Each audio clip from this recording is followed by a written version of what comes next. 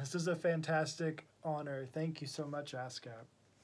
Um, I wouldn't have this award if it weren't for Aivi and Surasshu, who are the primary composers of Steven Universe, and Rebecca Sugar, who is the creator of Steven Universe.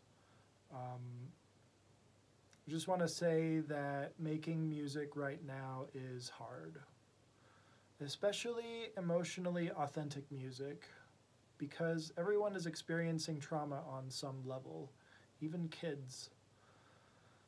Um, Steven Universe Future is primarily about facing personal trauma, which is not something that cartoons usually talk about, but it's refreshing and valuable storytelling for kids and adults, especially these days. Uh, the show means a lot to me because I grew up with my own traumas and have worked through them with a therapist.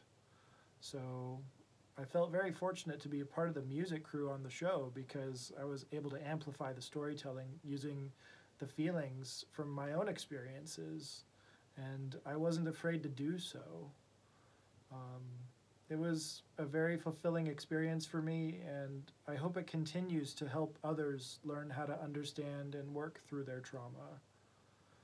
Um, so I just want to say a big thank you again to Aivi and Surasshu for the opportunity.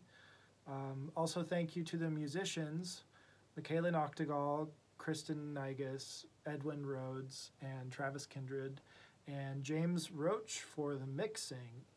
Uh, thank you to Rebecca Sugar and the Crewniverse for making an amazing show, and to Cartoon Network, of course, and ASCAP for this amazing award. Thank you so much.